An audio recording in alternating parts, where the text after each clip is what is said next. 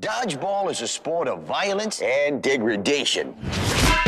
This year, What's our team motto? Aim low. That's right. get ready to dodge, If you can dodge traffic, you can dodge a ball.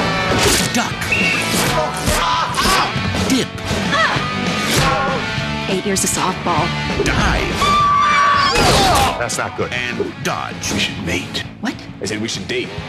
I just threw up in my mouth a little bit. Dodgeball.